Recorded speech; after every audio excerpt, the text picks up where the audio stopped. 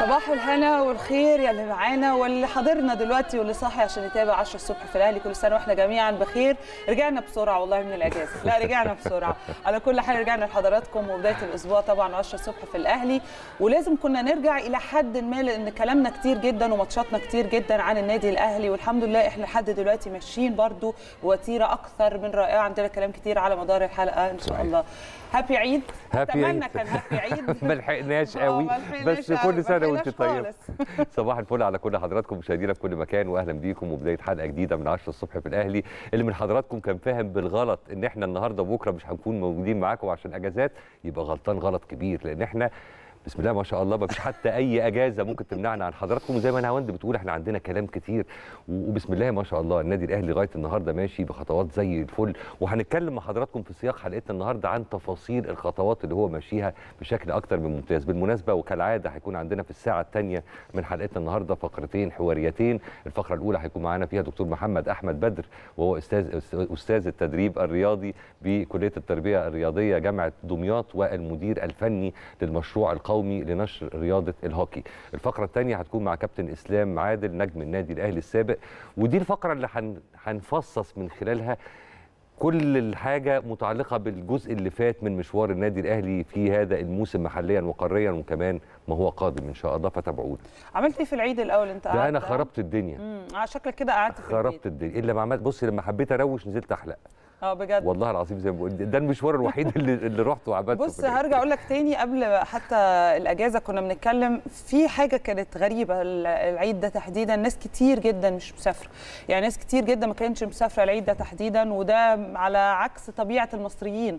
المصريين حتى لو بتتكلم في ظروف اقتصادية تتكلم في مسؤوليات في شغل في غيره الناس دايما بتلاقي طريقة إن هي تسافر تقضي أي أجازة كانت. لكن العيد ده أنا مش عارفة ليه ناس كتيرة جدا ما سافرتش بصراحة. أنا مش عارفة مرتبط بإيه بصي هو في كده أصل إحنا كده كده يعني- كتير فكتير قوي سافروا وكتير قوي قعدوا كتير قوي برضه قعدوا؟ صح والله أنت معاك آه. حق يعني لحد كبير أهم حاجة نكون انبسطنا مش شرط إن أنت تسافر يبقى انبسطت ممكن آه تكون. قاعد في بيتك ممكن تكون مقضي العيد مع الناس اللي أنت بتحبهم حتى لو طبعاً. يعني خرجتوا في نفس الأماكن بتخرجوا فيها كل يوم بس انبسطتوا يعني الموضوع ملوش علاقة قوي آه. بالسفر على قد ما ليه علاقة إزاي بقضي العيد ومع مين طبعاً. وزي ما كنا بنتكلم برضو فكرة فكرة هنا صلة الرحم والزيارات العائلية اللي إحنا آه، ما بنعملهاش غير في مناسبات على. مدار السنة. برضو بتفرق بشكل كبير جدا. أنا يمكن قضيت العيد شوية في يعني شوية علاقة أو يعني قضيته بشكل ليه علاقة بصلة الرحم وقرايبي اللي ما بشوفهمش بقالنا كتير. وحاجات زي كده. فدي كانت حلوة. والمشكلة كمان أو الفكرة كمان هي مش مشكلة إن ناس كتير من قرايبي المسافرين هم اللي جم. حلو برضه فعشان كده أنت ما كانش في اوبشن قوي إن أنت. تسافر. فيعني الحمد لله كان عيد لطيف علينا. على كل حال بقى نبدأ ونخش في المهم لأن عندنا كلام كتير جدا وعندنا كمان ماتشات مهمة هذا الأسبوع. النهارده مواجهة فيوتشر طبعا ويوم الأربعاء المقاولون والأهلي خلينا نقول بيكمل مشواره لصدارة الدوري وده شيء أعتقد كلنا سعداء بيه والفوز كمان المتواصل اللي بيحصل على الأرض اللي كلنا برضو أكيد متشرفين وسعداء وفخورين إن الأداء ده بيجي من النادي الأهلي حتى وإن كان هناك ضغط مباريات حتى وإن كان هناك عكوسات زي ما كريم دايما بيحب يقول حتى لو كان هناك بعض الأفعال اللي عليها علامات استفهام خاصة بالتحكيم أو غيره مش موضوعنا. الحمد لله وصلنا للنقطة 68 بعد الفوز على البنك الأهلي كان يوم الخميس ماتش كان قوي جدا. ولازم هنا نقف شوية برضو مع الماتش ده وليه هنقف لأن الأهلي وده الغريب حقق فيه حاجات كتير مهمة جدا. اولا أصبح الأكثر حفاظا على نظافة شباكه في الدوري. ده النادي الأكثر مم. حفاظا على نظافة شباكه في الدوري ده وفقا للإحصائيات والأرقام. يعني دي كانت آه، كمان المباراة الثامنه على التوالي وال19 هذا الموسم اللي بيخرج فيها النادي الأهلي بشباك زي ما بيتقال نظيفة. وده أكيد ليه معاني كبيرة جدا. لو أنت اتكلمت. هتلاقي عدة أسباب يا كريم. هتلاقي طبعا. ممكن نتكلم عن حراسة المرمى اللي عندك. مستواهم أكثر من رائع دلوقتي. الدفاع كمان عندك قوي جدا. وفي انسجام كمان بين اللاعبين كيمستري بين اللاعبين. قوية تناغم أثناء اللعب كبير جدا. آه، شفنا كمان التمريرات السريعة ودي برضو لازم نقف عندها شوية وهي إن فكرة لعيبتك ما عندهمش أنانية في اللعب بالعكس كمان التمريرات السريعة بتخلي الفريق كمان المنافس في حالة تشتت وده اللي حصل وده اللي شفناه. كان لعيبتك بيلعبوا وهم مرتاحين جدا تقدر إن أنت من خلال برضو يعني أو من خلالها إن أنت تضغط على المنافس بشكل كبير وبالتالي كمان فرصتك في التسجيل بتكون أكبر.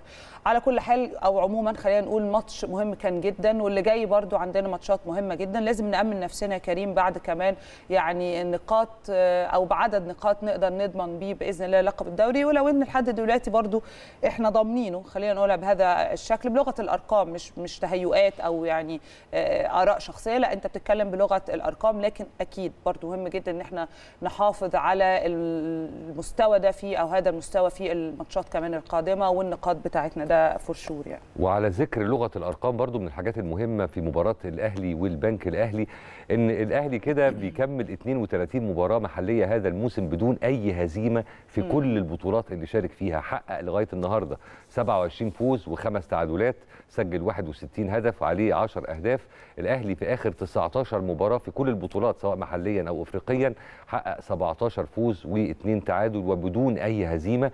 ولو اتكلمنا عن فنيات الماتش ده بالتحديد هنلاقي إن الأهلي تقريبا كان مسيطر على مجريات المباراة بالكامل. تقدم علي معلول للنادي الأهلي بالهدف الأول في الدقيقة 18 من ركلة حرة سددها بمهارة واقتدار كان جول عالمي بالمعنى الحرفي للكلمة وأضاف بعدها أحمد عبد القادر الهدف الثاني في الدقيقة 30 وفي الوقت المحتسب بدلا من الضائع آه، ختم طبعا محمود كهربا ثلاثية النادي الأهلي.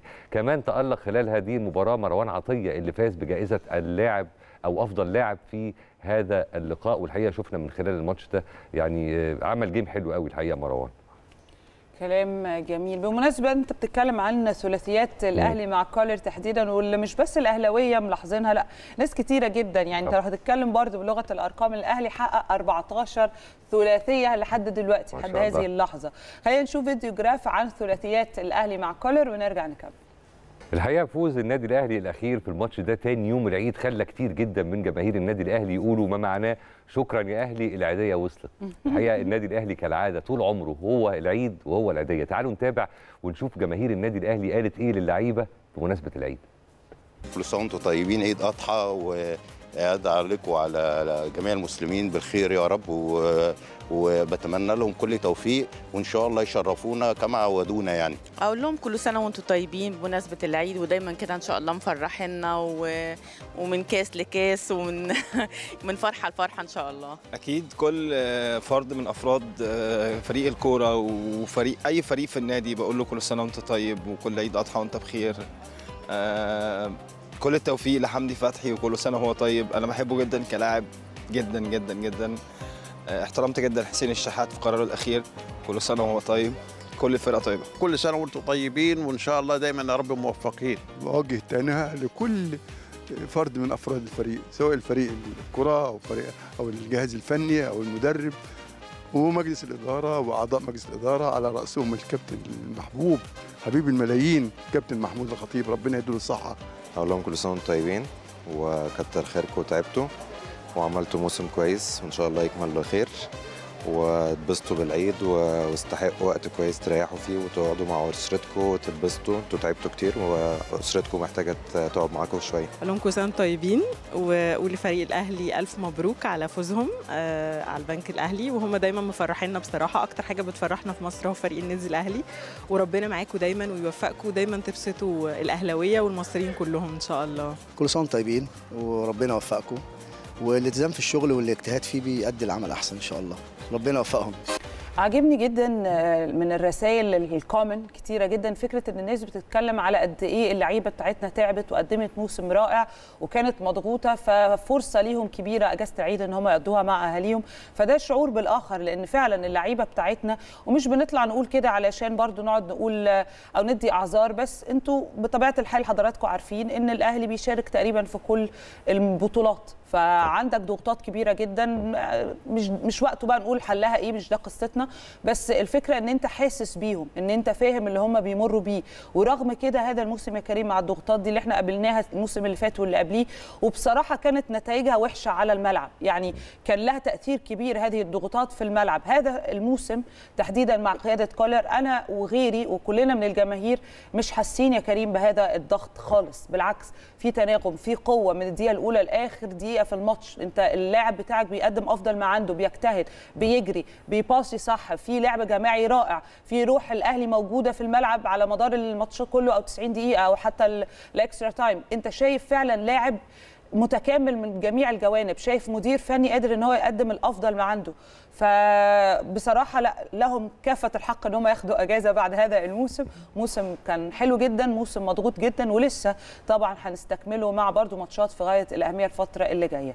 بالنسبة بقى إن إحنا نتكلم ونطمن كمان على شق مهم جدا وهي طبعا التحكيم أعلنت هنا لجنة الحكام في الاتحاد المصري لكرة القدم عن أسماء بقى طاقم التحكيم لمباراة الأهلي وفيوتشر. هيقودها الحكم الدولي محمود البنا وهيعاونه أحمد توفيق ويوسف البساطي وحكما رابعا هيكون أحمد حمدي وأحمد الغندور حكما لتقنية الفيديو أحمد صلاح حكم فيديو مساعد. بالنسبة بس أنا عايزة أقف شوية طبعا عند كابتن محمود البنا. هذا الحكم هو أدار ماتشات كتيرة جدا جدا للأهلي يا كريم. تقريبا 43 ماتش أداره للنادي الأهلي. طب فزنا منه بكام؟ فزنا منه ب 33 فممكن حد يقول لك ده فال حلو ممكن حد يقول لك مالهاش علاقة.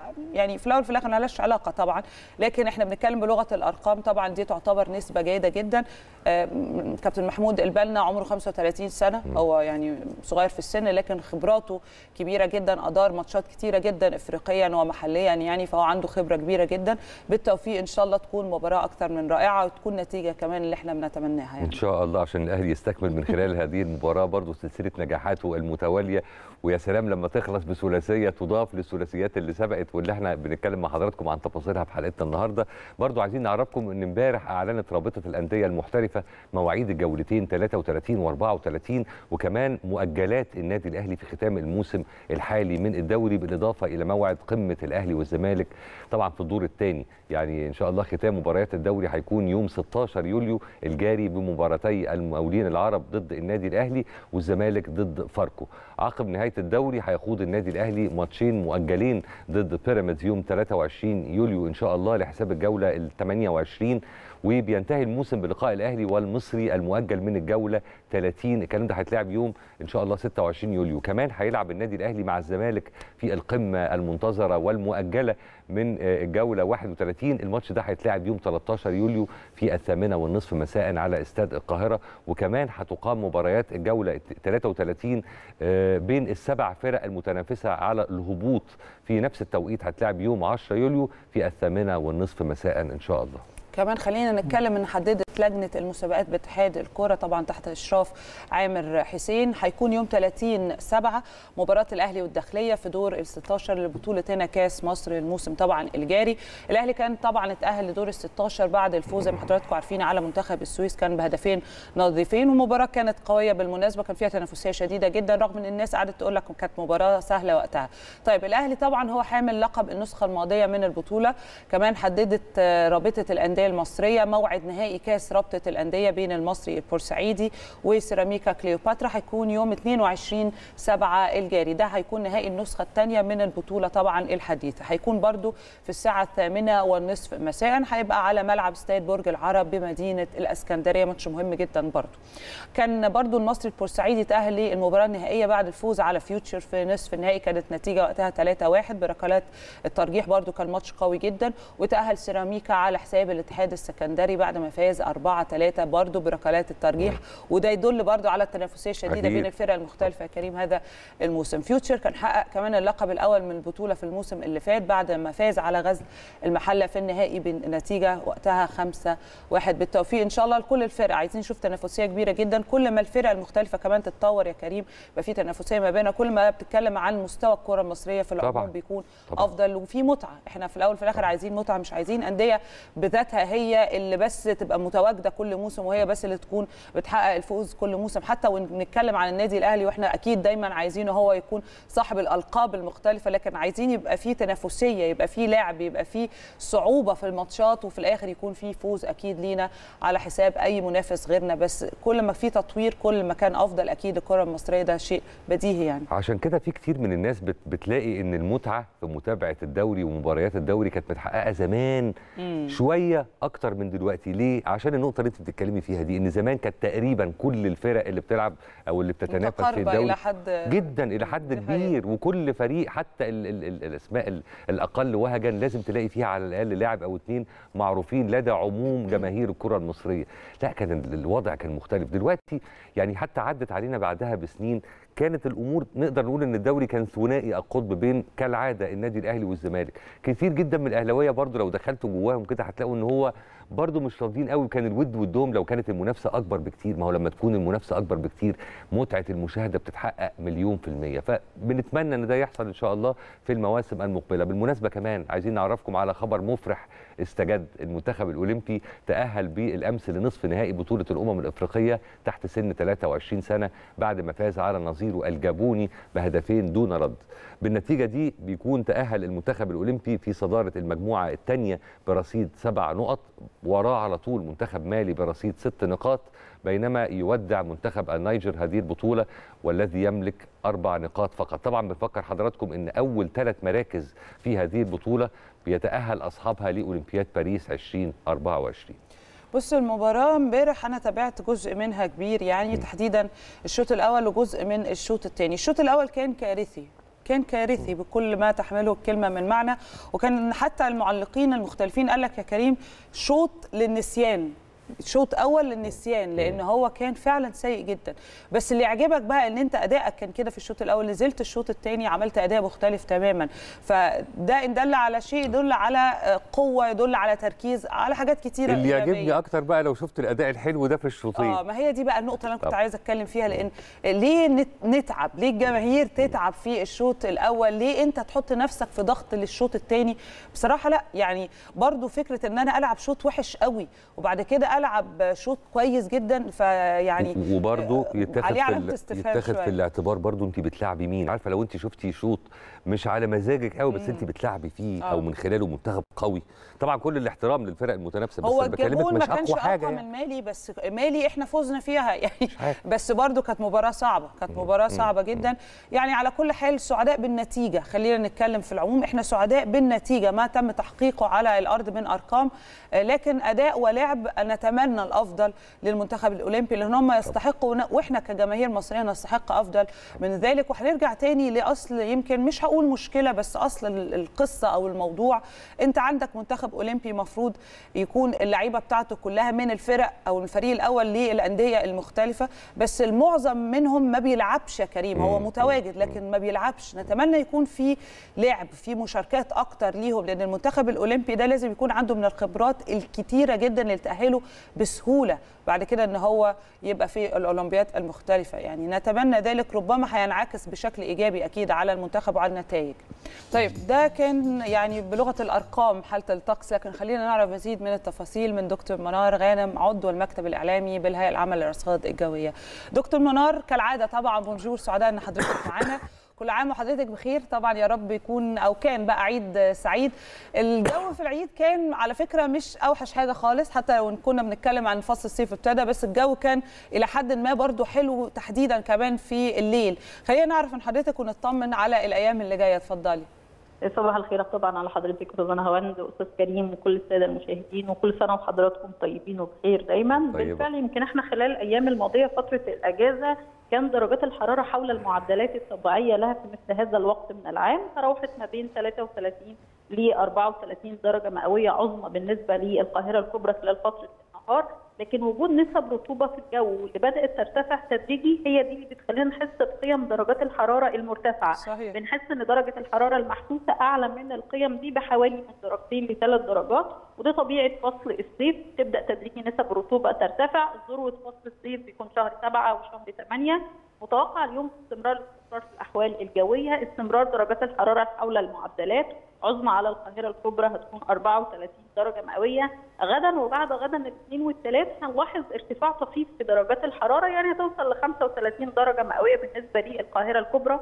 طبعا المحسوسه هتبقى أعلى من كده لكن بصفة عامة الطقس فترة النهار هو طقس حر رطب على القاهرة الكبرى والوجه البحري وسواحلنا الشمالية. المحافظات المطله على البحر المتوسط طقس شديد الحرارة في المحافظات الجنوبية شمال وجنوب الصعيد وجنوب سيناء فترات النهار كمان فترات النهار هنلاحظ زياده فترات سطوع أشعة الشمس بشكل كبير.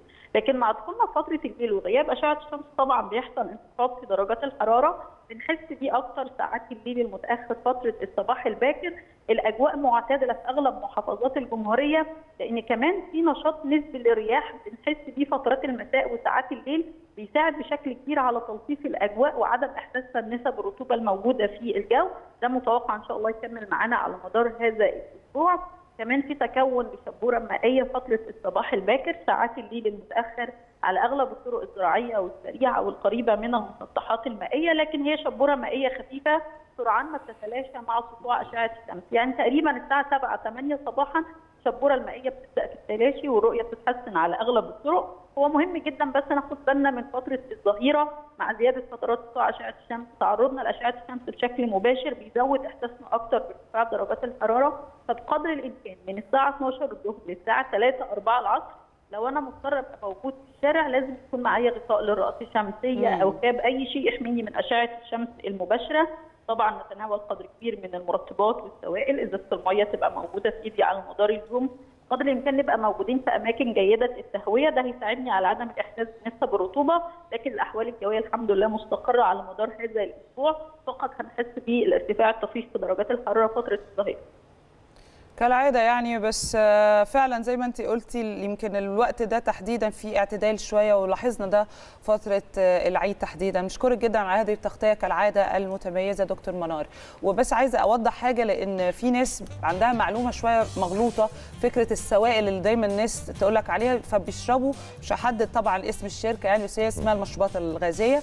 آه، بشكل مش طبيعي. أنا أعرف ناس على المستوى الشخصي كده ما بيشربوش مية تحديدا وبيشربوا الحاجات دي فده غلط جدا ده معتبر إن أنت بتزيد المشكلة مشكلة يعني ال- المقصود هنا يا عصاير فريش يا مية دي معلومة مهمة عايز أقول لك أنا بضحك وانت بتقولي الكلمتين آه دول أنت ليه؟ كده برضه إن أنا صحيح. كده جدا أنت للأسف كده برضه صح.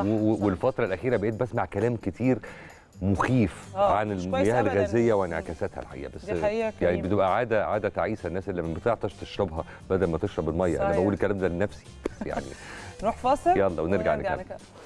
عودة ل 10 الصبح في الأهلي. أهلا بكل حضراتكم مرة تانية. خلونا نتعرف على آخر الأخبار والمستجدات في النادي الأهلي وفروعه وفرقه المختلفة من خلال زميلتنا العزيزة نورهان طمان. نورهان موجودة حاليا في مقر النادي الأهلي بالجزيرة نورهان صباح الفل عليكي وحمد لله على السلامة وكل سنة وأنت طيبة وتفضلي إحنا سامعينك.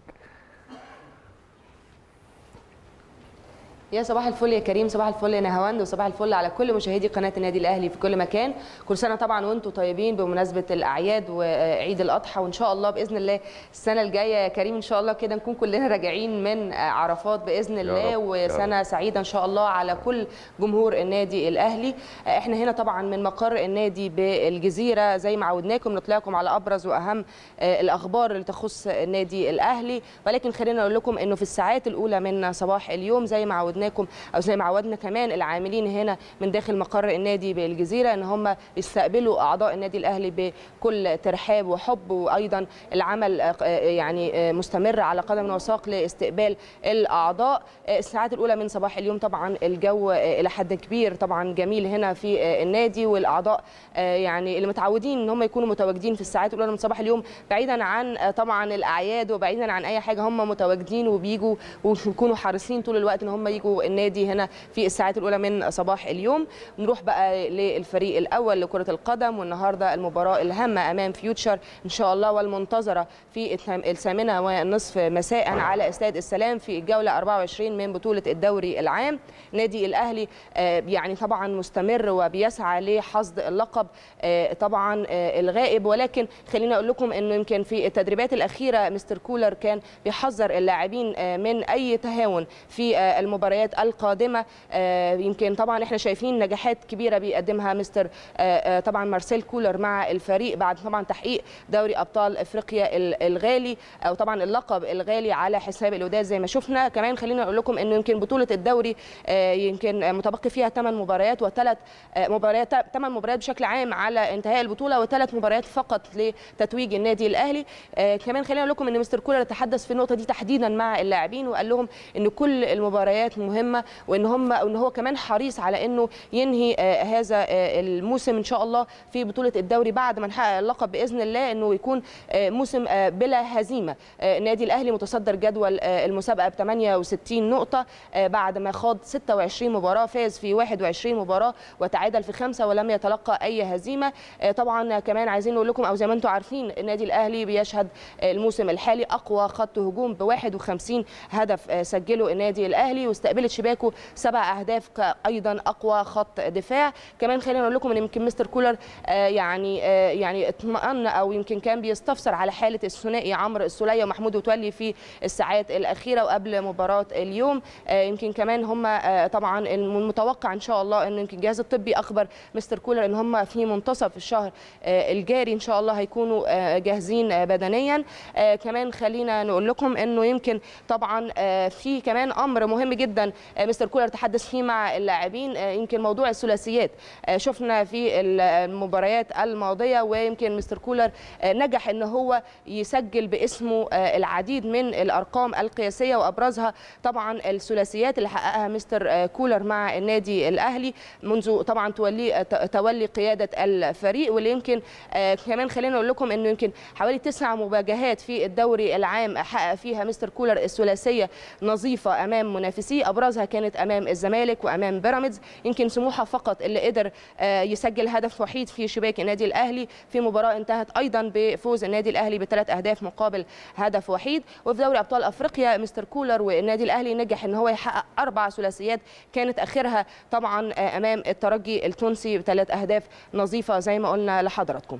أما بقى يمكن طبعا حابين آه، يعني نبارك أيضا هنا من النادي الأهلي لمنتخب مصر طبعا بعد فوزه أمس على الجابون بهدفين دون رد وبلوغه نصف نهائي كأس الأمم الإفريقية ال- طبعا المنتخب الأولمبي اللي مشرفنا وهيواجه غينيا إن شاء الله يوم آه، الثلاثاء المقبل ويكفي إن شاء الله الفوز في المباراة القادمة لمنتخب مصر آه، إن هو يصل آه، أولمبياد باريس طبعا القادمة. وكمان بنبارك لنجمنا نجم النادي الأهلي حمزة علاء حارس مرمى الفريق إن هو قدر يحقق الكلين شيت في الثلاث مواجهات الماضية. طبعا منتخب مصر يعني يمكن في صداره مجموعه أو بعد فوزه أمس أصبح في صدارة المجموعة بسبع نقاط. كل توفيق وكل آه، آه، يعني الأمنيات الطيبة لمنتخب مصر إن شاء الله في المباراة القادمة. وعلى ذكر بقى المنتخبات النهارده أيضا ناشئي وناشئات تنس الطاولة طبعا آه، في ضربة البداية في بطولة أفريقيا اللي بتستضيفها المغرب أيضا. ويبدأ مشواره إن شاء الله النهارده في البطولة اللي بتستمر حتى 8 يوليو الجاري. آه كمان خلينا نقول لكم إنه في كأس العالم للسلة تحت شباب تحت 19 سنة النهارده منتخب مصر هيواجه مدغشقر. وأيضا طبعا بيضم آه، آه، لاعبي من النادي لاعبين من النادي الأهلي. كل التوفيق لمنتخب مصر ولاعبي النادي الأهلي أيضا. آه، طبعا في مباراة اليوم اللي هيكون لتحديد المركز ال 13 يمكن منتخب مصر كان فاز آه، آه، أمس على فاز في المباراة الماضية على لبنان بنتيجه 78 لمن مقابل 77 دي كانت أبرز أخبارنا هنا من مقر النادي الأهلي بالجزيرة. شكرا لكم جدا وعودة مرة أخرى إلى الاستوديو. إحنا اللي بنشكرك على هذه التغطية المتميزة. شكرا جزيلا زميلتنا العزيزة نورهان طمان ومرة ثانية كل سنة وأنت طيب. شكرا لك يا نورهان. وخلينا من أخبار النادي الأهلي نروح لسكايب والصحافة مع الأستاذ أيمن جilberto الناقد الرياضي. زميلنا العزيز وقراءه كده سريعة في أبرز عناوين طبعا الصحف. يا أيمن بونجور صباح الهنا كل سنة وأنت بخير يا رب. صباح الخير عليكم صباح الخير يا نهوان صباح الخير يا كريم كل سنة وأنتم طيبين. آه، وعيد سعيد كده عليكم وعلى كل جماهير الأهلي وكل الشعب المصري. سافرت ولا قعدت في القاهرة يا أيمن؟ لا لا قعدت في القاهرة. آه. بحب يعني حالنا يعني. القاهرة فاضية. آه دي جميلة. رائعة. بص آه بالظبط. خلينا نسافر بقى لما الناس ترجع إن شاء الله. بالظبط. نبدأ بقى معاك سريعا يا أيمن وهنروح لكورة أول حاجة. والعنوان كالآتي رسميا جيزس مدربا طبعا للهلال السوداني. ومش هنقول الهلال السوداني إزاي الهلال السعودي. سعودي. معلش. أنا عايز أسألك. لا عيد كان سعيد فعلا. بص طبعا جيزس مش المرة الأولى اللي بيدرب فيها الهلال السعودي هو يمكن كان دربهم ست شهور تحديدا موسم 2018 و2019 يعني كان ليه تجربة وكان ليه برضو تجربة ناجحة مع الهلال السعودي. هل إحنا بنتكلم هنا إن عودته مرة تانية ربما تعمل أو تجعل آه، الهلال السعودي آه، أفضل من الموسم اللي فات لأن هو الصراحة قدم الفترة اللي فاتت برضو إخفاقات إلى حد ما خصوصا طبعا الصفقة الأخيرة اللي كانت خاصة بميسي. ناس كتيرة جدا قالت لك كده خسارة كبيرة بالنسبة للهلال السعودي. خلينا نفهم منك أكتر. اتفضل. آه لا أكيد طبعا آه، جيسوس مدرب كبير جدا ومدرب من المدربين ال- يعني اللي, اللي, اللي ليهم تاريخ ويعني هو طبعا أبرز يعني كان مع فلامينجو أو وبنفيكا يمكن دي أبرز المحطات اللي الناس ممكن آه، يعني تفتكرها جيسوس بشكل عام. الهلال يمكن السنة اللي فاتت يعني بنتكلم بعد مشاركته في كأس العالم للأندية اللي هي كانت في في المغرب حققوا المركز الثاني ده كان إنجاز طبعا كبير جدا. آه، بعديها يمكن النتائج ما كانتش أفضل أفضل حال يعني آه، في الدوري. وما كسبوش الدوري آه، السعودي. طبعا دي من يعني الهلال كان مسيطر في الفترة آه، الاخيره في النهائي. وبالتالي هم مش آه، يعني مش هيتواجدوا في كأس العالم للأندية آه، هتنظمه فبالتأكيد عودة جيسوس مهمة ليهم في الفترة دي كمدرب. اسم كبير في ظل خطة السعودية اللي هي عايزة يعني يبقى الدوري بتاعها من أفضل الدوريات في العالم وبتعمل حملات ترويج كبيرة وبنشوف الصفقات اللي كل شوية بيتم الإعلان عنها في الدوري السعودي بشكل عام. طبعا زي ما أنت قلتي خسارة توقيع مع ليونيل ميسي ده يعني أكيد خسارة كبيرة ترويجيا حتى آه، وكمان كضربة بالنسبة لفريق الهلال إن هو كان بيرد على غريمه النصر اللي معاه كريستيانو رونالدو ولكن ميسي اختار إن هو يتواجد في الولايات المتحدة. آه، فلا يعني إحنا آه، جيسوس آه، مدرب أعتقد خطوة جيدة للهلال السعودي لو هو عامل مشروع إن جيسوس يكمل معاه سنوات يعني قادمة خصوصا إن الهلال هيلعب كأس العالم للأندية الموسع 2025 مع النادي الأهلي ف بالتأكيد وجود هذا يعني هذا المدرب آه، حاجة مهمة. يمكن المدرب ده هو ال- ال- الناس كلها بتفتكر اللقطة الشهيرة بتاعت جيسوس وهو قاعد على الأرض مع في أحد المواسم مع بنفيكا لما كان سيء الحظ جدا خسر ثلاث بطولات آه، آه، الدوري والكاس و والدوري الأوروبي على ما أتذكر يعني في آخر مب... يعني في كل مباراة كده في الدوري في آخر مباراة في الكاس في النهائي في الدوري الأوروبي في النهائي. آه، لكن يظل إن هو واحد من المدربين المميزين ومع فلامينجو آه، توج معاهم بالعديد من الألقاب. آه، فلا لا يعني للأمانة اختيار موفق للهلال السعودي. صحيح هو كده كده حسب المعلومات إن هو مضى معاهم سنة. أعتقد ممكن تكون سنة كتجربة أو حتى هو بالنسبة له لو حابب إن هو يجدد بعد كده هيبان طبعا الفترات القادمة يعني. تمام. خلينا نروح معاك يا كريم. بالتأكيد. آه لا يعني هو اعتقد الافضل إن هو في السعودية بيبقى السنة بسنة أحسن لأن هم بالظبط. كتير بيغيروا مدربين. الفترة الأخيرة بيبقى عندهم قضايا كتير في الفيفا تتعلق بالمستحقات وكده فأعتقد هم بيفكروا دايما سنة بسنة عشان لو حصل تغييرات يعني. رائع جدا. جميل. ادي مانشيت عرفنا منك يا أيمن تفاصيل والمانشيت الثاني بقى كان في موقع في الجول. والمانشيت بيقول ضعف الراتب. مانشستر يونايتد يتقدم خطوة في سباق ضم مرابط. طبعا الكلام على فكرة إن مانشستر يونايتد بيسعى جاهدا لضم اللاعب طبعا سفيان مرابط نجم فيورنتينا الإيطالي.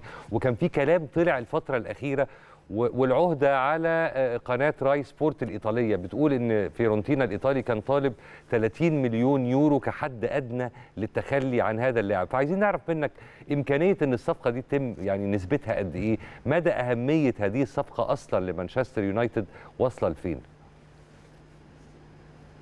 آه لا يمكن 30 مليون يورو في المب في ال في, ال في يعني في الوقت اللي إحنا فيه ده إحنا بنتكلم ما بقتش فلوس.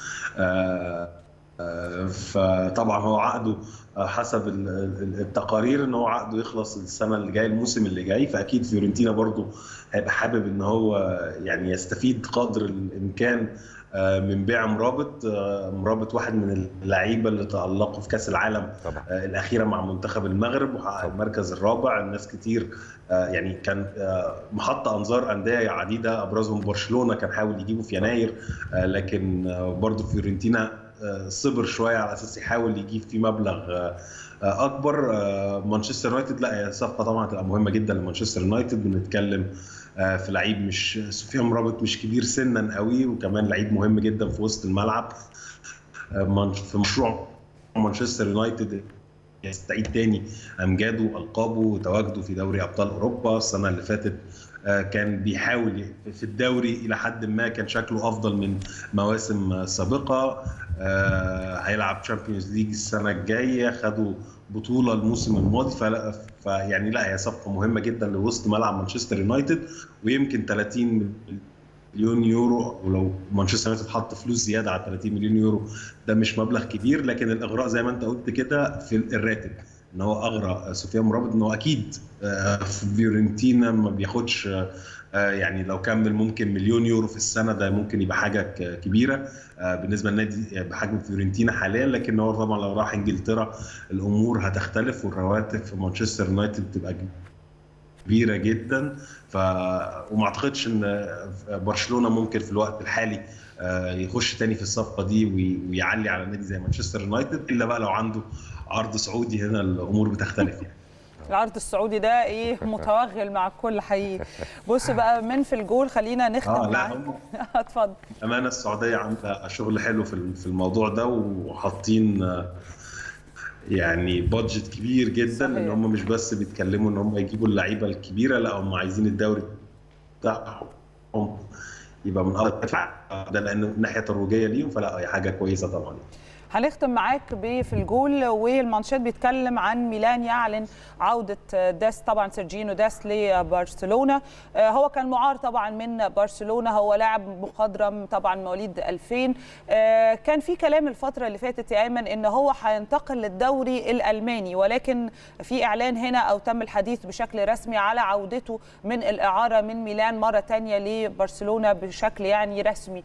فبتشوف ده برضو آه، إزاي وبرشلونة القادمة برضو ممكن إزاي إن هي تكون بتقدم ككورة لأن برضو مروا بفترات فيها تذبذب بشكل كبير جدا وواضح.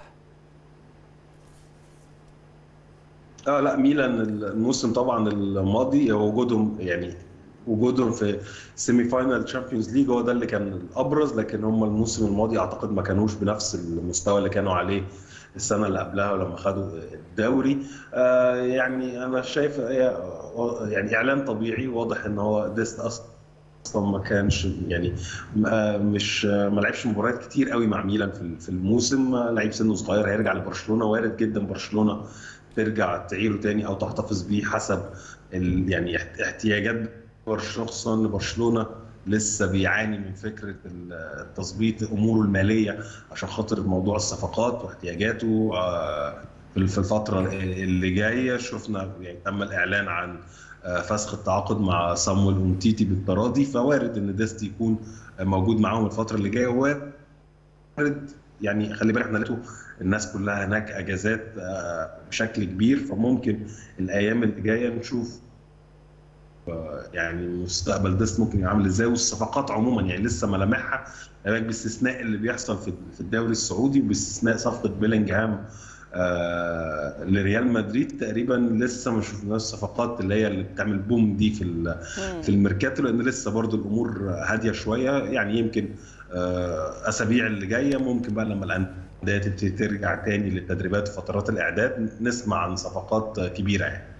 طيب أنا بقى هختم معاك أنا وكريم بسؤالنا عن طبعا مباراة الأهلي وفيوتشر. أه توقعاتك إيه يا أيمن وسير المباراة؟ وهل بتتوقع إن هي مباراة ممكن تكون كافتها أرجح إلى حد ما للنادي الأهلي ولا المباراة لا تقاس بهذا الشكل؟ آه، طبعا يعني إحنا بنتمنى النادي الأهلي يحقق نتيجة آه، إيجابية والتحقيق الفوز لأن هي هتبقى خطوة جديدة لاستعادة لقب الدوري. النادي الأهلي محتاج تسع آه، نقاط من مبارياته المتبقية.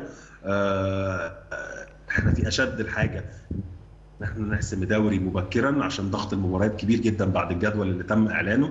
المباراة طبعا صعبة رغم إن فيوتشر تقريبا خلاص فقد الأمل في فكرة إن هو ينافس على مقعد مؤهل لدوري أبطال أفريقيا بعد يعني خلاص النتائج حاليا. الأهلي وبيراميدز هم اللي هيمثلوا مصر في دوري أبطال أفريقيا يمكن فيوتشر ال- ال- الفترة اللي جاية هيلعب من أجل إن هو يحاول يضمن المركز الثالث كان هو يحسن يعني ترتيبه عن الموسم آه، الماضي لأن نادي الزمالك قريب منه كمركز رابع آه، لكن تبقى مباراة آه، قوية مع يعني بنتكلم في النادي الأهلي متصدر الترتيب وخلاص قريب إن شاء الله من سعاده الدوري وفيوتشر بنتائجه المميزة أكيد هتبقى مباراة صعبة مفيش مباراة بتبقى سهلة.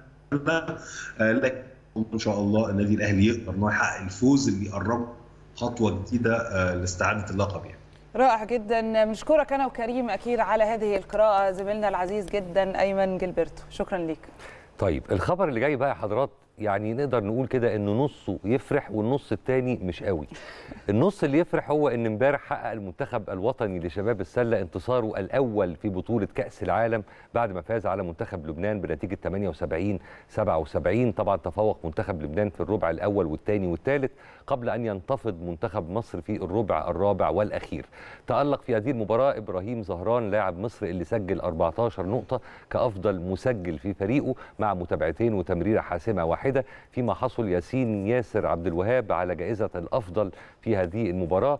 هتواجه مصر الفائز من لقاء النيجر والمجر عفوا ومدغشقر وده ده, ده النص اللي مش هيبقى على هوانا قوي يعني. لتحديد صاحب المرتبة ال 13 في هذه البطولة. فيما يلعب منتخب لبنان مع الخاسر من مباراة مدغشقر والمجر لتحديد صاحب المركز الأخير. كلام جميل كده. الفقرة الأولى انتهت. زي الفل. حلوة قوي كده. هنروح فاصل سريع جدا ونرجع. الفقرة الأولى هنتكلم فيها عن رياضة الهوكي وكيفية كمان صناعة البطل بعد الفاصل. خليكم معنا. يا أهلا بكل حضراتكم مرة تانية. هنتكلم في الفقرة دي عن رياضة الهوكي وعن أهمية صناعة البطل فيها وكمان هنتكلم عن استعداداتنا إن شاء الله لكل المنافسات القادمة. الكلام هيكون مع ضيفنا اللي منورنا الدكتور محمد أحمد بدر أستاذ التدريب الرياضي بكلية التربية الرياضية جامعة دمياط وكمان المدير الفني للمشروع القومي لنشر رياضة الهوكي. صباح الفل على حضرتك كل سنه وانت طيب. أهلا صباح بيك الفل. معانا. صباح الفل يا دكتور. صباح الفل يا جاي لنا. من دمياط ولا لا هنا جاي من الزقازيق من مش الزقازيق، آه،. ماشي، ماشي. معقل الهوكي آه. شرقيه أهلا بحضرتك وانت بحضرتك يا بخير فندم الله يخليك. آه، نبدأ من هنا دكتور محمد. يعني نتكلم عن المشروع القومي أصلا لنشر الهوكي ومين اللي اشتغل عليه وايه الفكرة جت منين وليه أصلا الرياضة دي تحديدا حابين أنتوا تنشروها عشان الصورة تبقى واضحة للناس؟ آه، رياضة الهوكي زي ما حضرتك عارفة يعني رياضة مصرية. آه، معابد بني حسن آه، فيها آثار آه، بتبين إن آه، وكمان ال- ال- ال history أو ال- الفيديو ال- ال- التاريخي للاتحاد الدولي آه، موجود فيه آه، الرسومات اللي موجودة في معابد بني حسن. فبالتالي اللعبة مصرية. آه ومن هنا آه ال- الوزارة مع الاتحاد المصري للهوكي بدأوا يمشوا في موضوع المشروع القومي لنشر رياضة الهوكي على مستوى الجمهورية. آه، خلصنا المرحلة الأولى بشكل كويس جدا آه، من خلال الانتقاء والتدريبات. وإن شاء الله في انتظار التجديد للمرحلة الثانية وبداية مرحلة جديدة. طب هو مش كون إن الرياضة دي رياضة مصرية فرعونية خالصة مفيش أي بني آدم سبقنا فيها بقى بعد مرور 7000 سنة نبقى محتاجين مشروع قومي لنشر هذه الرياضة اللي هي أصلا مرجعيتها مصرية ومنبعها مصر. آه، كلام حضرتك مظبوط ولكن آه، عدد الأندية وعدد الممارسين على مستوى الجمهورية قليل. ليه؟ نتيجة إن الأدوات آه، تكلفتها عالية جدا. كمان الملاعب آه، بت- بتبقى نجيل صناعي. فطبعا آه، عشان حضرتك عارف إن التكلفة وكمان آه، آه، النجيل الص- الصناعي ده بيترش مية فتكلفة ال- ال- الإنفاق دي كلها بتبقى عالية جدا. وبالتالي إحنا محتاجين يعني المشروع كان هدفه آه، آه، إن إحنا نروح لمراكز الشباب. آه، وده برضك يعني تصور كويس جدا من وزارة الشباب والرياضة إن إحنا ننزل لمراكز الشباب لأن فيها بنية تحتية مناسبة لنشر الرياضة دي في الفترة الجزء. الأول من كلام حضرتك آه، في جانب حزين والله بكلمك جد يعني فكرة فعلاً فكرة عالية. إن التكلفة للرياضة تاني أرجع واقول لك مرجعيتها مصرية يعني المفروض نبقى إحنا الرواد فيها فبالتالي إحنا المهيمنين فيها عالميا يبقى إحنا عندنا مشكلة في إن إحنا ن- نعمل ملاعب نجيل صناعي ونسقيه مية لا؟ هو هو المشكلة مش الملعب المشكلة ال- المضرب أو العصاية والكورة العصاية والكورة ما بتصنعوش في مصر بيتصنعوا في دول آه، شرق آسيا الباكستان والهند. فطبعا عشان تيجي حضرتك عارف سعر الدولار دلوقتي وعشان تيجي الأدوات دي هنا بيبقى التكلفة عالية جدا. فهي هو ده السبب يعني. فالاتحاد مشكورا آه، آه، بالتعاون مع وزارة الشباب والرياضة بدأوا يوفروا الأدوات دي بشكل بشكل يعني مناسب للمشروع. وبالتالي هنا الفرصة هتبقى أكبر إن عدد الم- الممارسين يزيد. طب نشر اللعبة برضو في المحافظات والإقبال عليها هل فعلا بنسبة كبيرة ولا خلينا نقول لأ بنسبة متواضعة؟ والله إحنا لما نزلنا المحافظات آه، عشان حضرتك تبقى عارفة بس إحنا المشروع بتاعنا آه، 20 ولد و20 بنت في كل محافظة. وبالتالي العدد ده أو عدد بسيط آه، كبداية. بعد كده إحنا آه، يعني طموحنا ان إحنا نوصل لل 27 محافظة آه، على مستوى الجمهورية كلها. فبالتالي ال- الأعداد هنا مش هتبقى آه، هيبقى في في ال- في المردود النهائي. يعني إحنا مثلا بدأنا الأول بخمس محافظات. النهارده خمسة في 20 إحنا بنتكلم في عدد آه، يعني مثلا 200 لاعب آه، آه، أو أو 100 لاعب ولاعبة.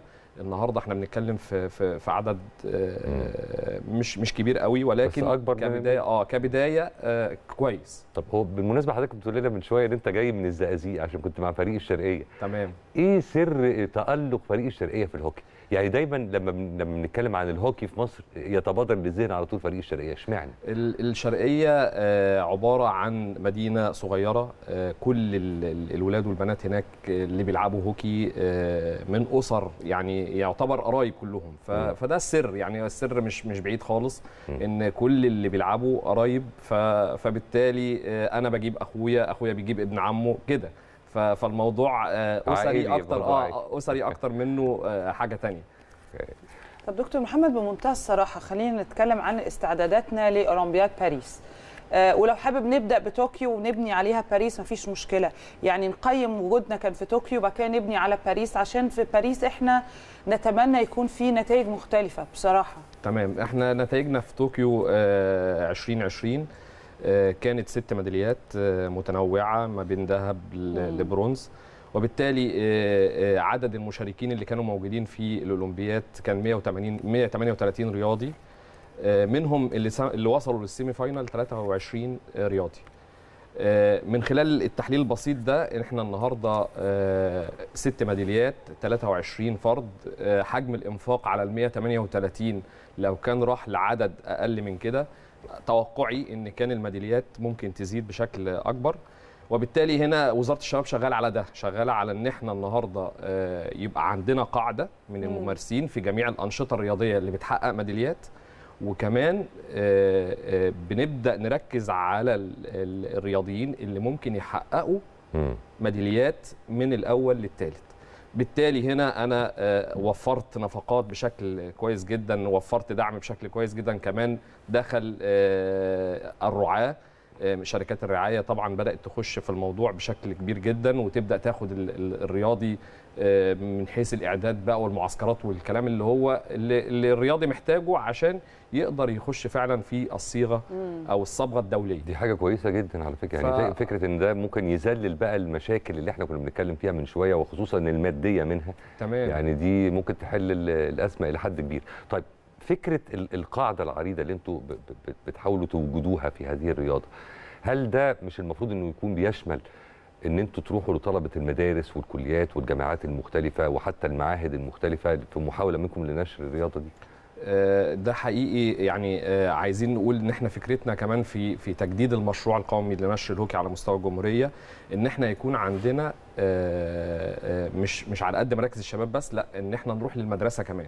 يعني المدارس النهارده هي ويبقى في فعلا دوري هي, هي مدارس فعلا وكده. مفتاح مفتاح النجاح زي ما بنقول كده المدرسة. الطالب متواجد ملتزم. أنا النهارده هقدر أوصل له من خلال مدرس التربية الرياضية اللي موجود في في المدرسة. فبالتالي آه، النظامية هنا موجودة. كل اللي هنحتاجه بس إن إحنا نوفر له الملعب بشكل مهيأ والأدوات بشكل مناسب وهنلاقي النتيجه أكيد آه، مختلفة خالص يعني. طب إيه بقى المشاكل؟ يعني إيه المشاكل؟ إيه العكوسات خلينا نقولها بهذا الشكل إيه ال- النواقص اللي موجودة علشان نقدر إن إحنا نتجنبها في يعني الاولمبياد آه، كمان المختلفة شوية الروتين بس إن إحنا ده- ده- الإجراءات ده آه. يعني هي هي ده هي. الإجراءات هي الإجراءات دايما بتاخد وقت طويل جدا آه عايز أقول لحضرتك إن إحنا آه مثلا آه عشان يتجدد المشروع بشكل آه في نسخته الثانية. يعني آه خدنا وقت طويل جدا أو لسه لسه ما خدناش الموافقة لحد دلوقتي وإحنا من خلال حضراتكم بنوجه رسالة للدكتور أشرف صبحي وزير الشباب والرياضة آه، آه، إن رياضة الهوكي رياضة آه، أولمبية آه، محتاجين بشكل كبير جدا آه، إن إحنا نبص عليها ونركز معاها آه، زي الرياضات التانية. وبالتالي آه، إحنا آه، نتائجنا على مستوى أفريقيا مثلا خلال الفترة اللي فاتت آه، عندنا منتخب الناشئين مؤهل لكأس العالم في ماليزيا. عندنا المنتخب الكبير هيبدأ يشارك في في التصفيات الخاصة ب أولمبياد باريس. عندنا كمان المفاجأة منتخب السيدات في البطولة الأفريقية الأخيرة للناشئات حصل على الميدالية البرونزية وإحنا ما كانش عندنا مشاركة على مستوى السيدات. الناشئات يعني؟ آه آه، كمان فريق الشرقية للهوكي آه، في 2019 آه، حصل على المركز الأول والبطولة الأفريقية لهوكي السيدات. فدي برضو علامات أو يعني إشارات كده بتدينا أمل إن بكرة إن شاء الله الهوكي هيبقى آه، موجود آه، بشكل أقوى. كويس جدا. طيب ال ال ال المتطلبات يعني مثلا في رياضات كتير وأكيد على رأسها كرة القدم في مساحة لوجود ما يسمى بالكشافين. وبالذات كرة القدم أمرها هين بالمقارنة بغيرها من الرياضات. عشان تعرف إحنا عندنا ثقافة لعب الكورة في الشوارع والحواري وال يعني الكفور والنجوع إلى آخره. فسهل إن أنت تحط عينك على حد مميز وتاخده أو تستقطبه. طب في حالة وجود كشافين للهوكي طب هيكشفوا على المواهب إزاي؟ لأن دي مش من الرياضات اللي بتمارس في يعني في الشوارع مثلا. هتعرفوا آه. منين ان ان إن الشخص ده ممكن يطلع منه بطل مستقبلي في الرياضة دي. هيبقى زي ما قلنا لحضرتك كده آه، موضوع المشروع ونشره ومن خلال ناس متخصصين في مثلا آه، كليات التربية الرياضية أو المدرسين اللي كانوا آه، بيمارسوا الرياضة دي جوه الكلية يقدر إن هو يعمل عملية انتقاء مبدئي وبعدين بعد كده بيحصل عملية التوجيه بقى في إن هو يمارس رياضة الهوكي بشكل احترافي. آه يعني شكل احترافي أكتر. آه، عايز أقول لحضرتك كمان ان إحنا آه، متبنيين في المشروع ده نوع من انواع ال matrix الخاص بالمهارات الفنية و آه، المهارات التكتيكية أو الأداء التكتيكية. آه، مش مش كده وبس لا ده إحنا كمان مركزين على الجزء ال- ال physical اللي هو الب- ال- البدني.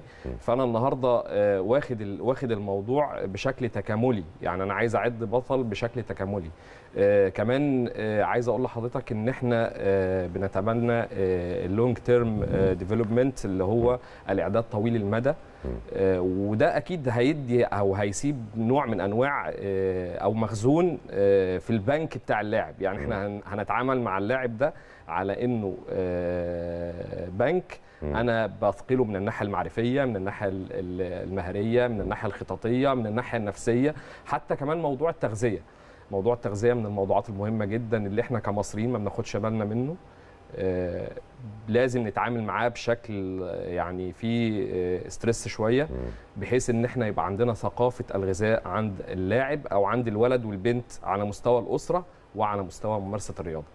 آه، في هرمين مهمين قوي آه، إحنا بنتعامل معاهم آه، من الناحية العلمية يعني آه، اللي هو البيراميدز كيدز وده بيوصل لحد 16 سنة. ليك حضرتك تعرف إن الولد والبنت بيقدروا إن هم أو يكونوا نشيطين لحد 16 سنة. من بعد 16 سنة لحد آه، يعني ما شاء الله بيبقى عندنا آخر فترة في عمر البني آدم هي فترة الخمول إن هو قاعد بقى إحنا بقى بنوصل للفترة دي عندنا بدري شوية. يعني آه، الريموتات في كل حتة آه، آه، الموبايلات في كل حتة. طبعا. فما عادش عندنا إن إحنا نمارس النشاط وده لازم برضو نوع من أنواع الثقافة اللي إحنا آه، لازم نأكد عليها ونعمل بريس عليها جامد جدا. آه، على مستوى الأسر المصرية. كويس جدا. بس الوقت بيجري يا دكتور محمد بس طبعا إحنا حابين نروح معاك برضو لأكبر كم من المعلومات. آه خلينا نروح برضو لنقطة السن. يعني إيه السن المناسب لممارسة الرياضة؟ سواء على المستوى الاحترافي أو مستوى الهواة. تمام. آه، السن السن بالنسبة لنا إحنا كرياضة الهوكي آه، كبداية ممكن حضرتك الولد أو البنت تبدأ من خمس ست سنين آه، كبداية. آه، الاحترافية بقى هنا بتبدأ ما بعد سن 17 18 سنة مم. إن أنا أقدر آه، أعيش بقى, بقى. أعيش آه يعني أعيش فترة آه، ال prof- ال professional يعني إن أنا خلاص بقيت آه، لعيب آه، أقدر أحترف الرياضة دي وليكم إن حضراتكم تعرفوا إن إحنا عندنا مجموعة من اللاعبين المصريين على مستوى المنتخبات الناشئين والدرجة الأولى محترفين في أوروبا آه، في في الدوري الفرنسي في الدوري الإيطالي في الدوري الأسباني في كمان الدوري إحنا دايما الأمريكي. عندنا الخامة الحلوة في كل الرياضات يعني مظبوط، حتى كرة القدم النسائية اللي هي مش واخدة باع كبير في مصر عندنا محترفات في أندية كبيرة جدا في الخارج في أوروبا يعني وتحديدا في. برشلونة كمان. مظبوط. فيعني طيب أنا عندي بس سؤال لأن أنا عندي curiosity أو فضول. هي الهوكي رياضة ما فيهاش مجهود قوي. يعني يمكن مجهود ذهني أكتر لو تتفق معايا إحنا بنشوف. الصح يعني لا، ناس قوي، لا، واقفة. إزاي؟ لا، طب يبقى. اشرحها لنا أكتر لا هقول لحضرتك إحنا مساحة الملعب عشان حضرتك تبقي عارفه آه، 91 متر و40 سنتي كطول وكعرض آه، 55 متر هو موجود ف- في نادي الصيد بشكل كبير لا مش. آه، أنت حضرتك كده بنتكلم على هوكي آه، أنواع مثلاً- مختلفة آه. ليه هو ليه أنواع مختلفة. حضرتك لازم تعرفي كمان إن الهوكي بيتلعب تحت المي- المية under underwater ده جديدة دي. آه يعني فاكر إن الموضوع واقف عند هوكي الجليل لا لا لا لا لا يا راجل. آه، في بعث ومسابقات دولية و- مسابقات. ويعني و... يعني في بطولة آه، اتعملت في عمان كأس العالم للهوكي الشاطئي مثلا على سبيل المثال. كمان على الرملة؟ آه أمال إيه؟ يعني وكمان أحادي العجلة. احادي العجلة إن أنا راكب عجلة بدون بدون جدون وبلعب لا ده كتير. ده كتير يا دكتور محمد لا عندنا أنواع كتير جدا. عندنا منه إيه في مصر إيه؟ آه بالظبط. إحنا إحنا متفوقين آه، على مستوى أفريقيا في آه، الهوكي ال outdoor وال indoor. آه، ال indoor إحنا حصلنا على البطولة الأفريقية ومؤهلين لكأس العالم لل indoor هي ال- الأرضية بتبقى واحدة في الحالتين؟ الأرضية واحدة بس مساحة الملعب اللي بتختلف. okay. ال- ال indoor بقى ال indoor آه، اللي هو داخل الصالات. ده آه، بيبقى طبعا على ال- الباركيه بتاع ال- ال- الصالة عادي. ما عندناش إحنا هوكي جليد طبعا. لا ما عندناش طبعا هوكي جليد. آه، طبعا حضرتك عارف إن ال outdoor وال indoor وال five hockey التكلفة إحنا بنتكلم في إن التكلفة عالية. النهارده بقى لما أعمل آه، مكان جليدي شوف حضرتك هيتأسس بكام. والموضوع آه، واخد ناحية ترفيهية أكتر يعني.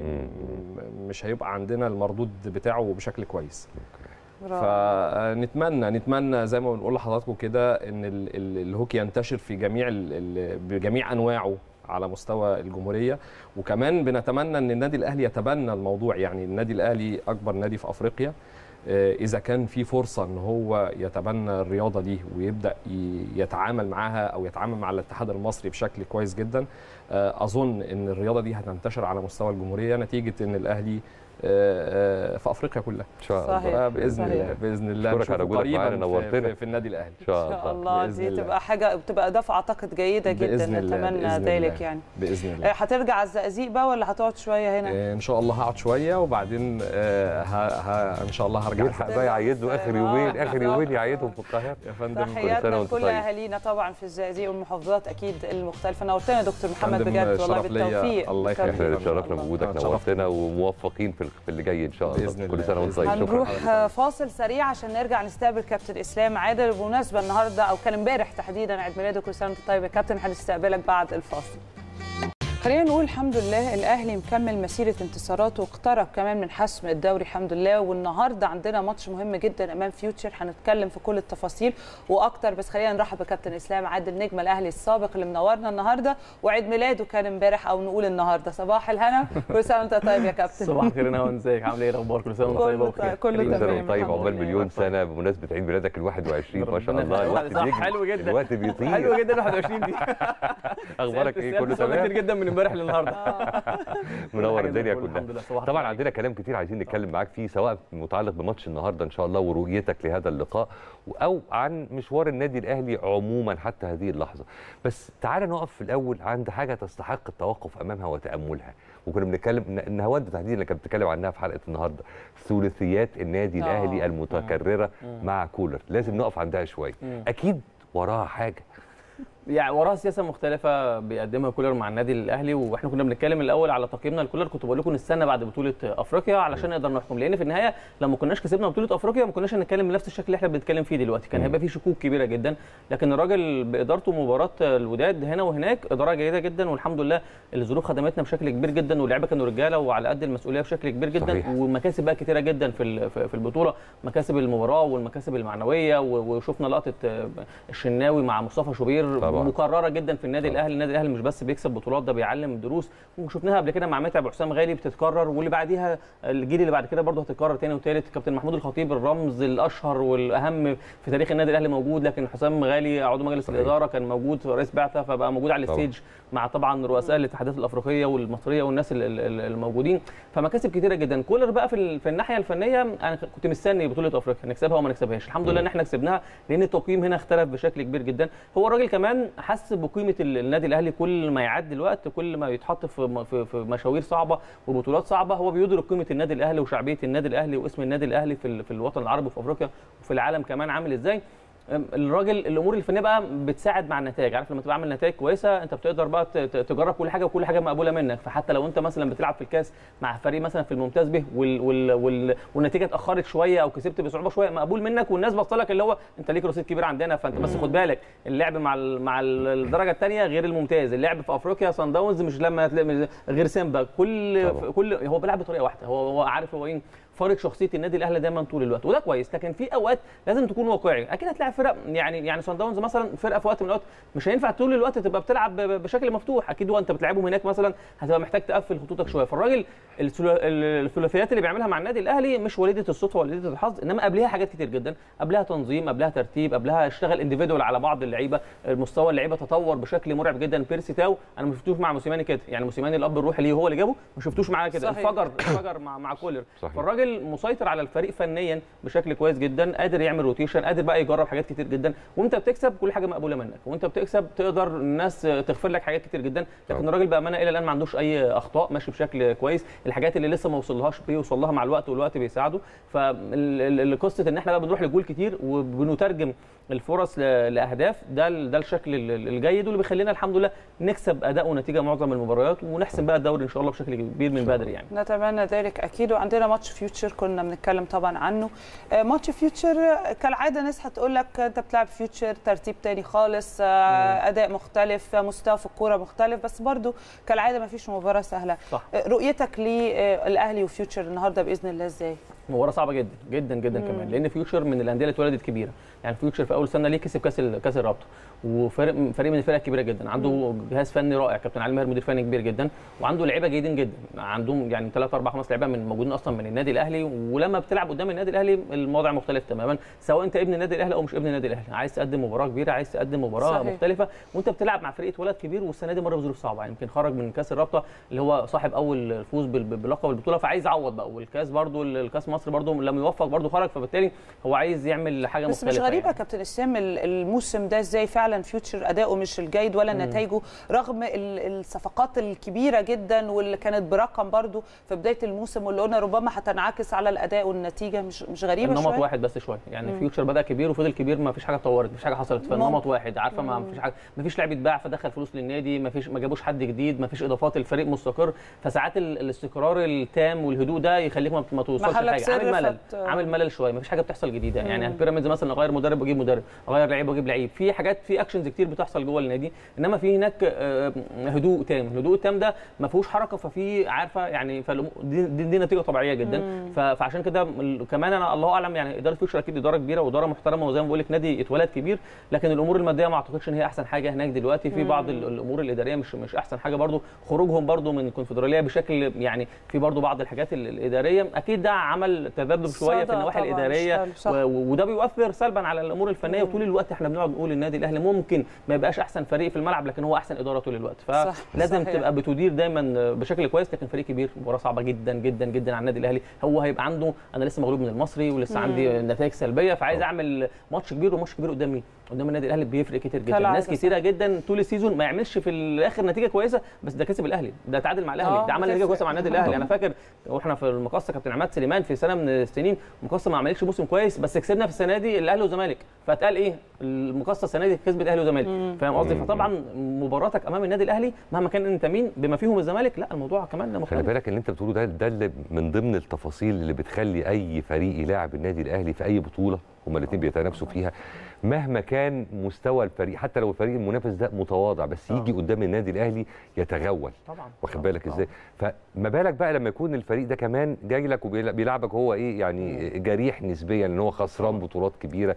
ما قداموش يعني بديل تاني غير إن هو يعمل game عالي قدامك ده بيصعب من مهمة النادي الأهلي أكيد. طبعا. وتقييمك كمان في المباراة مختلف تماما. يعني يعني النهارده فيوتشر بيلعب اي قدام أي نادي في مصر غير غير قدام النادي الأهلي. الكابتن علي ماهر نفسه أداؤه الفني قدام أي نادي في مصر غير قدام النادي الاهلي مصر كلها بتتفرج. 130 مليون بيتفرجوا على مباراة النادي الأهلي مع فيوتشر خاصة في الأسابيع الأخيرة دي. الاوقات اللي النادي الأهلي خلاص بيحسم إن شاء الله فيها اللقب يعني.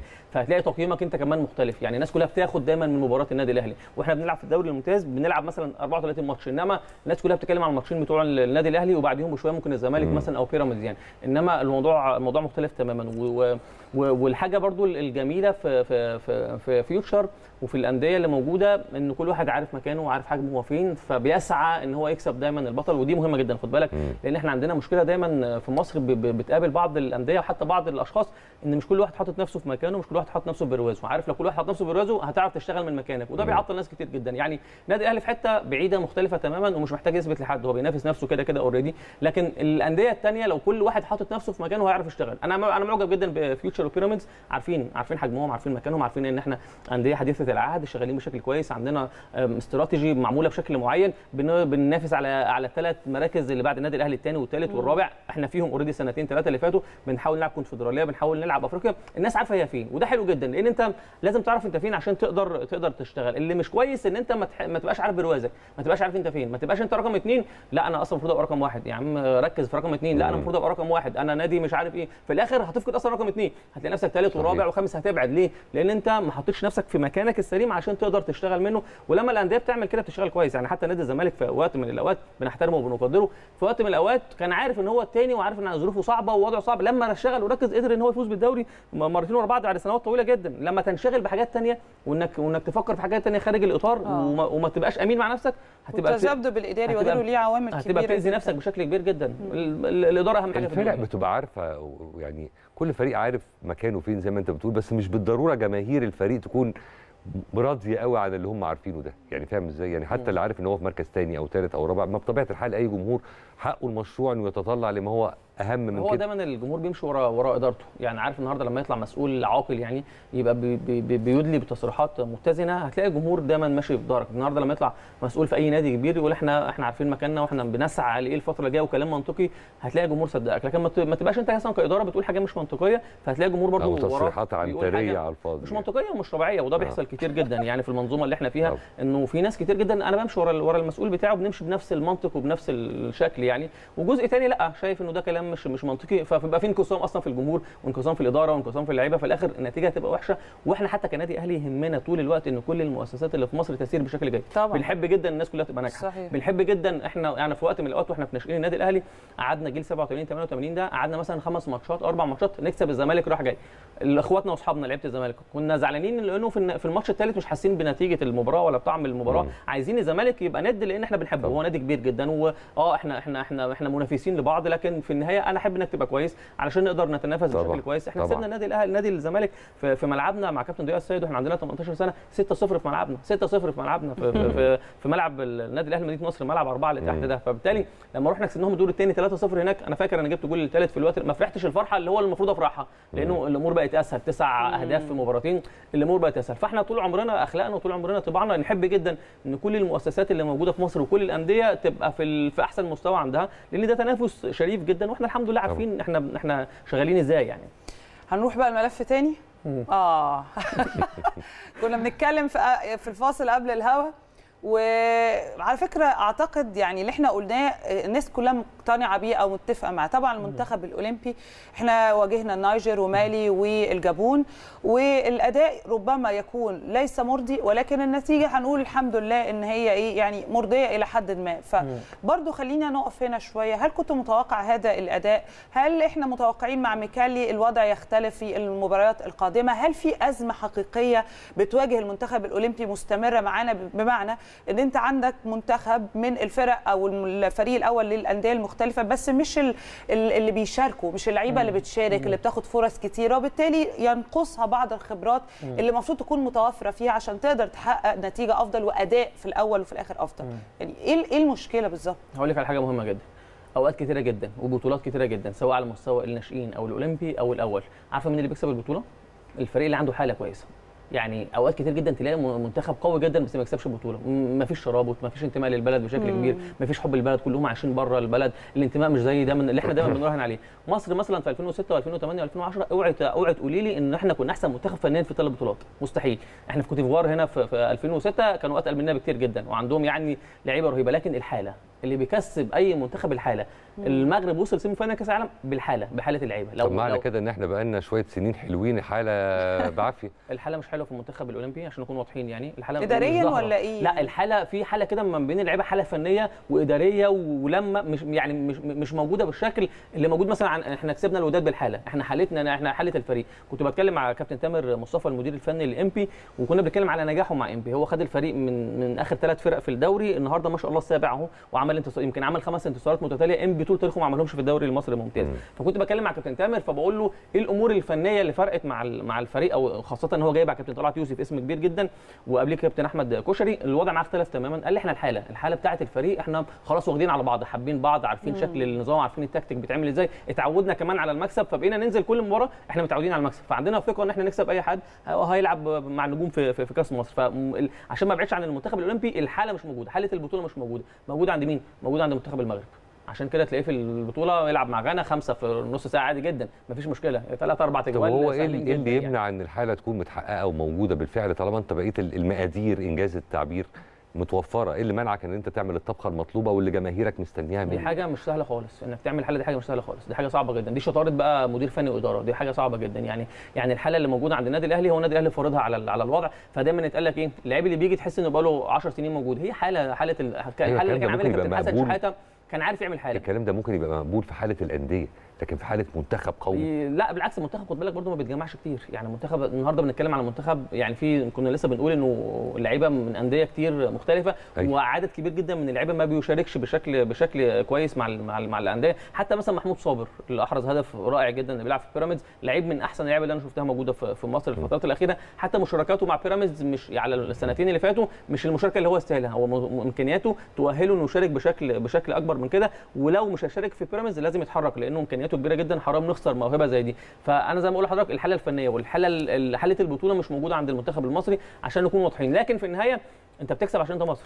انت في مباريات كتيرة جدا انت بتلعب باسمك. انت بتلعب بالامكانيات الفردية وعشان برضو ادي له حقه المدير الفني مدير فني كبير. يعني الراجل بأمانة بال بال بالظروف الصعبة دي وانك مش عامل احسن حاجة عندك ان هو يعدي وان هو يكسب وان هو يوصل خلاص قرب من باريس وده الأهم يعني ان هو يوصل للمرحلة دي. لا هو واضح ان هو مدرب كبير جدا. كمان وجود كابتن وائل رياض شيتوس في في ال- في الجهاز واحد بقى اشتغل في المنتخبات ال- الخمس ست سنين اللي فاتوا اشتغل بشكل كويس جدا في المنتخبات. فأكيد ده عامل مساهم بشكل كبير جدا في الإنجازات والانتصارات اللي بتحصل لكن في النهاية يهمنا إن النتيجة تيجي وطالما النتيجة جت الباقي يجي الباقي يجي مع المكسب بقى بي- بيغطي وبيدار على كل حاجة لكن بس مشكلتك إنه أنت خلاص بقى semi final وإن شاء الله final لو رحنا لل- للمغرب لأن المغرب أكيد أكيد في نهائي البطولة هيبقى نهائي ناري يعني هيبقى نهائي طبعاً. ناري آه. إمكانيات وحالة وكل حاجة عشان موجودة كده عندهم أنا وأنا معاك رايح أنت وأنت ناقص. حالتك هي دي إحنا أنا مش مطمن أنا بحب معاكم حاجة إن إحنا ما بنجيش نقول كلام مش منطقي. لا طبعاً. الناس مش. مصدقاه إحنا منتخب كبير جدا واسمنا كبير جدا وعندنا لعيبة جيدة جدا وعندنا جهاز فني رائع جدا وبشكرهم على المجهود المبذول لحد اللحظة اللي إحنا فيها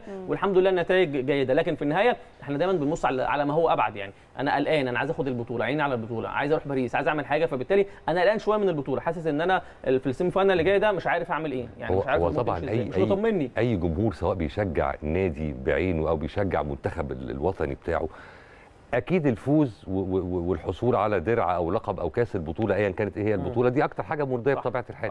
لكن ممكن بيبقى العزاء الوحيد في حال فقدانك للقب أو لدرع إن أنت تشوف أداء مرضي. صح.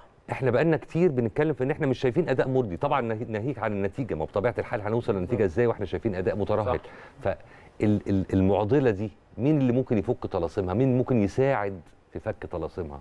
الوقت المدير الفني والجهاز الفني مع الوقت اللعيبة دي كانت محتاجة يعني لو كانت ظروف الدوري أحسن شوية كانوا اتجمعوا بدري شوية قعدوا شهر مثلا قفلوا على نفسهم في مكان معين آه، سافروا بره مصر أو حتى معسكر في مصر اللعيبة تنسجم اللعيبة تبقى مقربة من بعض بشكل أحسن من كده أكيد هيظهر الكلام ده في الملعب. اللي بيتعمل بره الملعب بيظهر في الملعب. خد بالك الكورة مش 11 ضد 11 ولا السكواد اللي 20 ضد 20 في الملعب مش كده خالص. ده في تفاصيل كتير جدا بره ده في تجمع على الغداء ده في اوضه لبس ده في. أوتيل ده في تعاملات. الحاجات دي كلها لو علاقة اللعيبة ببعض جيدة والجهاز الفني قريبين من بعض هم أكيد موجودة. مش بقول مش بقول إنه في حاجة لا.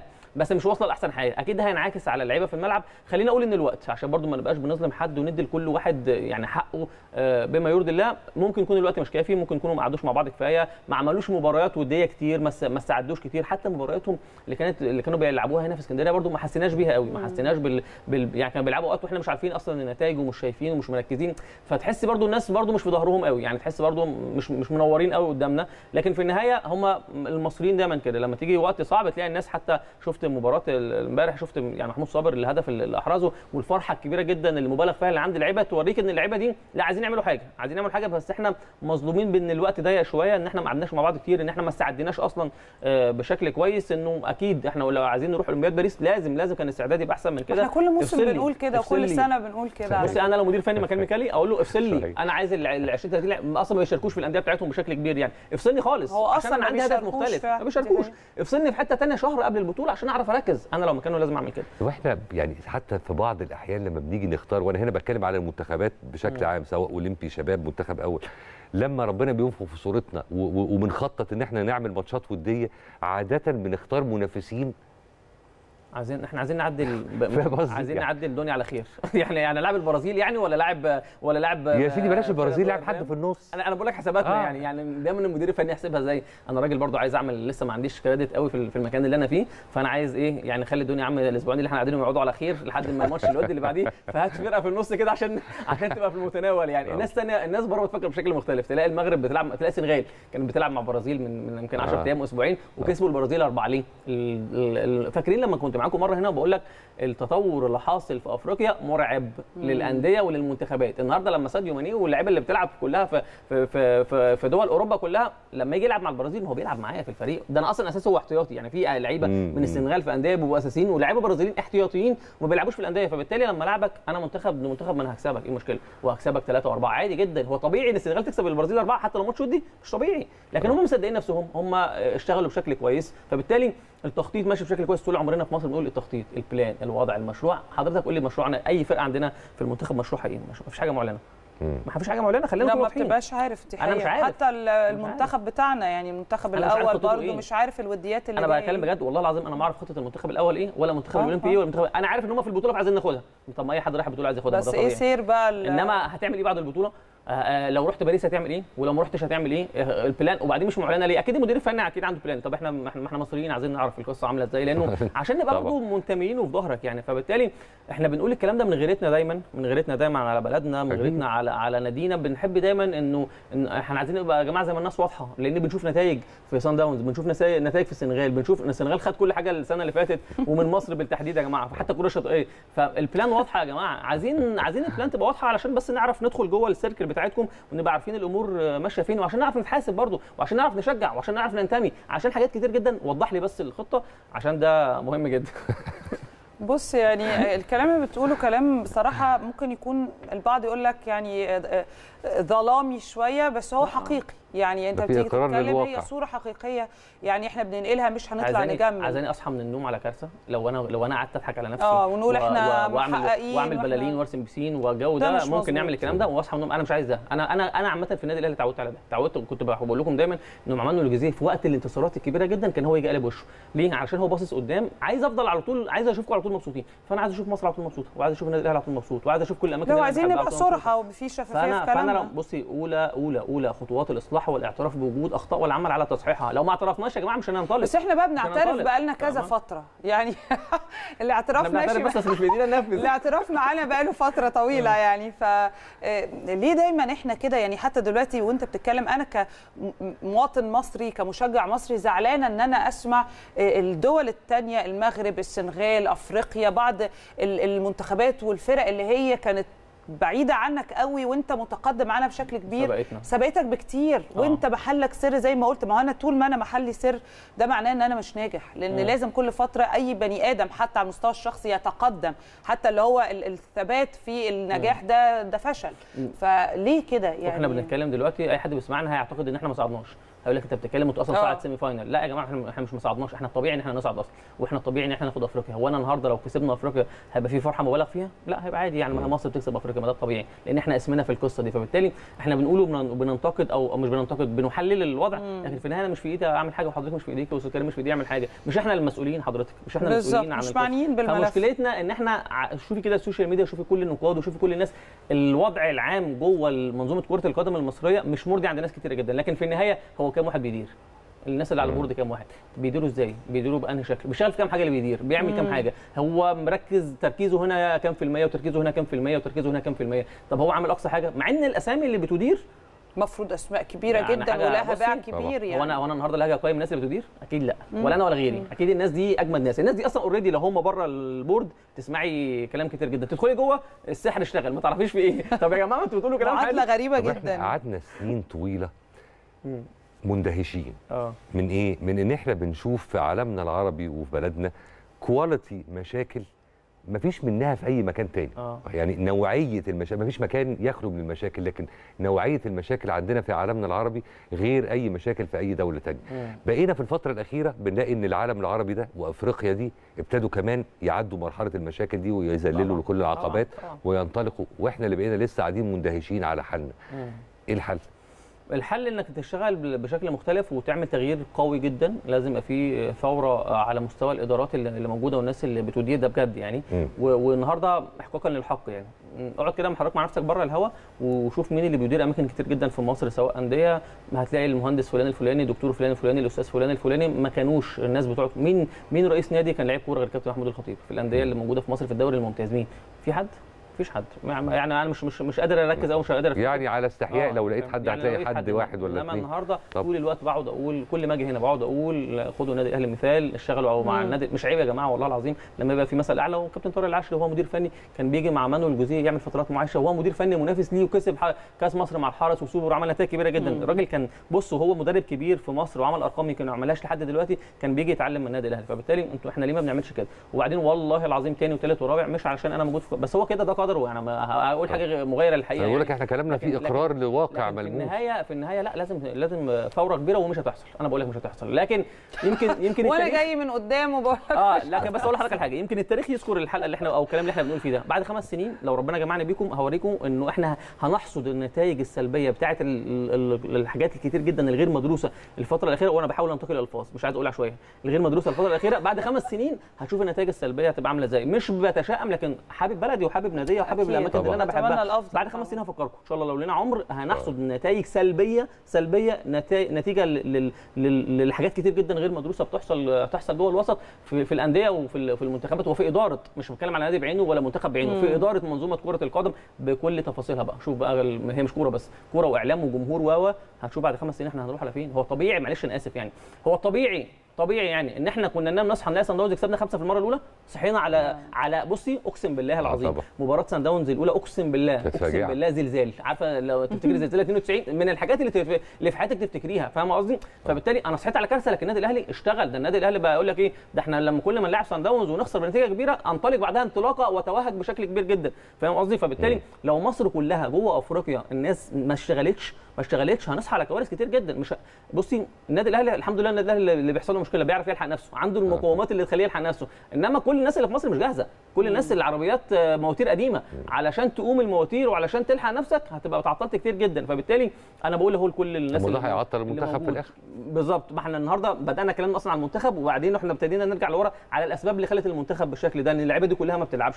أنا بقول لكل الناس اللي موجودة في مصر المواتير عطلانة الأدوات مش أحسن حاجة لازم الناس اللي بتدير الكورة تكون ناس بتاعت كوره. يا جماعة اللي بيدير الكورة بتاع كورة مش عايزين مرة واحدة؟ كلنا بينا نحب الكورة مرة واحدة؟ كلنا. بينا نشتغل في الكورة كلنا بنشتغل في كل مؤسسات الكورة وكلنا بينا كباتن مصر. كابتن صالح سليم الله يرحمه كان دايما وإحنا صغيرين أنا بقول لك الكلام ده في أذهاننا يعني.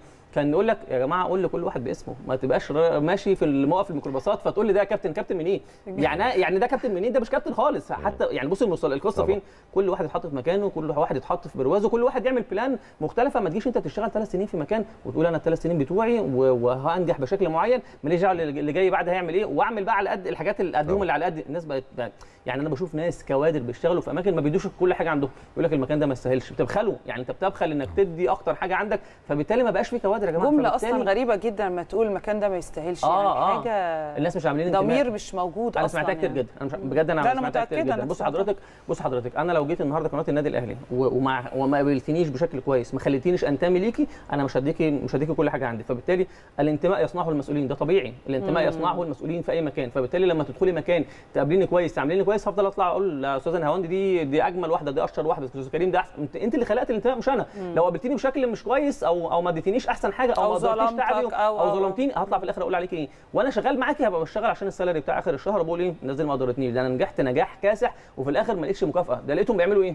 بياخدوا النجاح ينسبوه لنفسك انت آه، متخيل القصة؟ آه. يعني بدل ما تقدرني. بدل ما تقدرني أنا كشخص بتاخد النجاح تنسبه لحد تاني. فابتدى العلاقة تتوتر ما بين صحيح. المسؤولين في مكان واحد فت- فابتدى يبقى ما فيش ما فيش انتماء. يعني مش مش عايز أخرج بره إطار المنتخب لكن بتكلم في صالح عام انه إنه منظومة كرة القدم المصرية في مصطلحات ومفاهيم اتغيرت. اتغيرت معانيها المصطلح موجود لكن معانيه معانيه مختلفة تماما.